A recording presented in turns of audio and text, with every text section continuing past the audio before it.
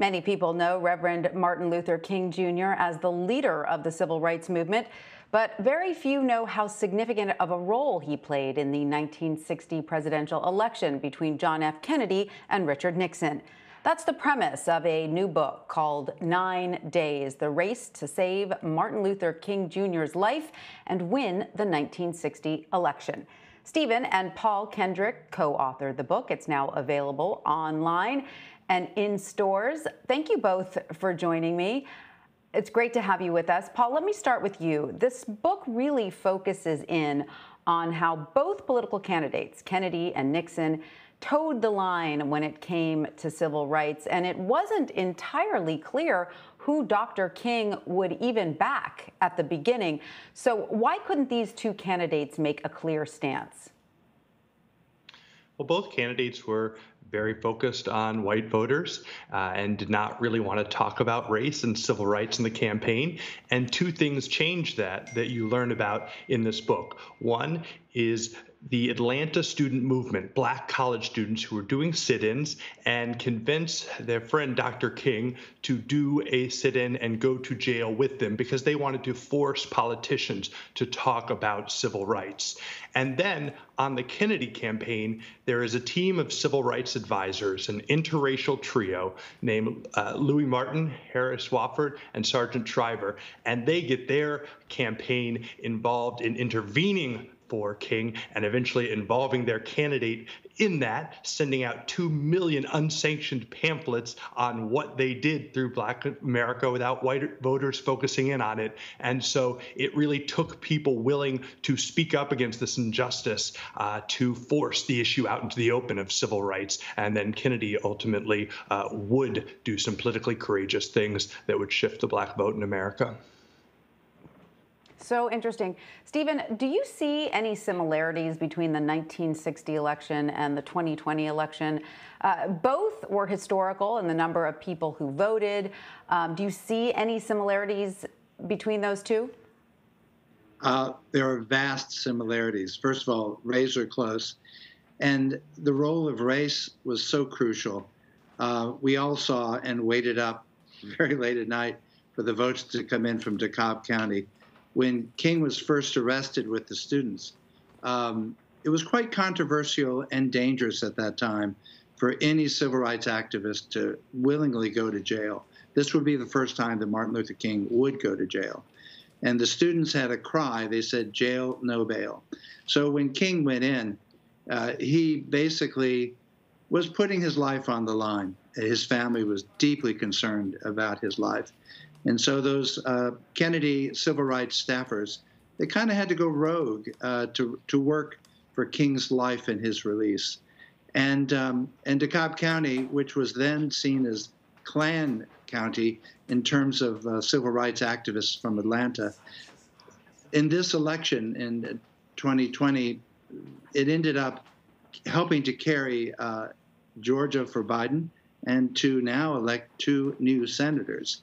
So it's amazing how events have, have come true 61 years later. And uh, Paul, that phone call that John Kennedy made to Coretta Scott King regarding her husband being in prison seemed genuine. Um, but do you think that that was the clincher? Is, is that what really turned the tide in favor of Kennedy? Would he have won over so many black voters without that call? It's a great question.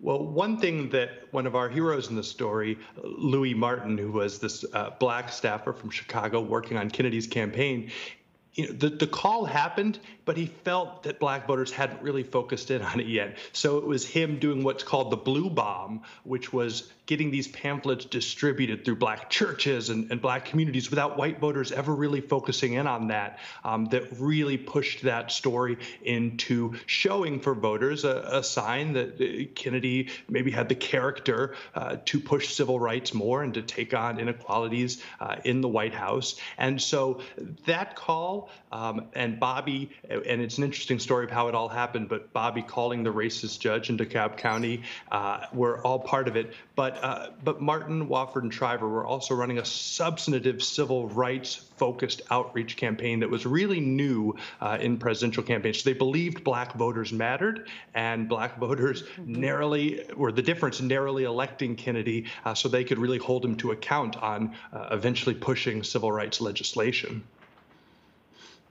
And Stephen, it's interesting because at the end of the Thursday, October 20th chapter, you do give the background of then candidate Richard Nixon. You know, we have such a clear image of him because, you know, post Watergate, I think his legacy changed dramatically.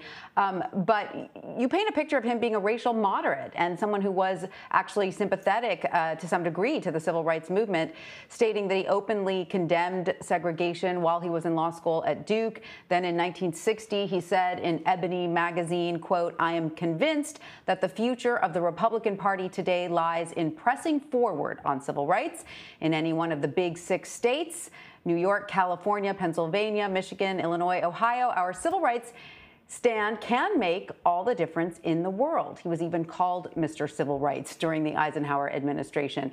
Um, but then it seems after losing the election, he appeared to completely abandon these views and cater more to the quote, Southern strategy. Um, what do you believe caused Nixon to make that massive shift? I think it was political expediency. Uh, before the 1960 election, uh, Nixon had put a lot of effort into befriending King. In fact, the day before King's arrest in Atlanta, uh, three weeks before the election, Daddy King endorsed Nixon. So the black vote was up for grabs.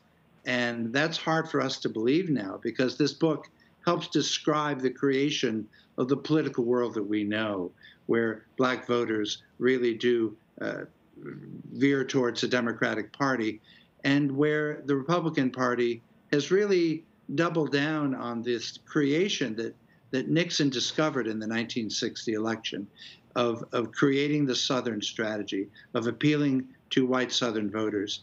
And uh, he did that uh, really by abandoning his friend um, King. Uh, Nixon did nothing. Uh, Nixon had black advisors, but he ignored them. And his silence really did help create the political world that we know today. And Paul, you know, the book goes into a lot of behind the scenes activity uh, with Martin Luther King Jr., John Kennedy, Richard Nixon. Why did you take this route uh, in writing the book? Well, people maybe know there was a call from Kennedy to Coretta, there was a call from Bobby to the judge, but what we found was this is such a richer story uh, when the Atlanta student movement activists are, are, centered in it, when you understand King's courage and why it was an agonizing decision for him to go to jail. Uh, but in facing down death and that experience, would allow him to make the kind of national change that he was searching to find a path to do so. Um, but in King's family, King's lawyer, Donald Hollowell, they're all a part of the race to save Martin Luther King's life. Um, and also those uh, GOP advisors that were pushing Nixon, which were Jackie Robinson and a man named E. Frederic Morrow, and then uh, this team. And we really loved the, the bond of this team. We felt they model for us an effective interracial uh, group that uh, work together, Louis Martin, Wofford, and Shriver, uh, how Wofford and Shriver really listened to Morrow, let him guide them. And uh, so all together, it, it, gives you an American panorama of these dramatic, uh, exciting uh, days that are, but were so perilous for King, and that I think will give anyone who reads it a deeper appreciation of his heroism um, and how he became the king that we are remembering on this day. On this very important day, Stephen Paul mentioned uh, Louis Martin there, and you refer to him as the godfather of black politicians. Can you explain why? One of the pleasures of writing this book was to really find Louis Martin and to give him his proper historical due.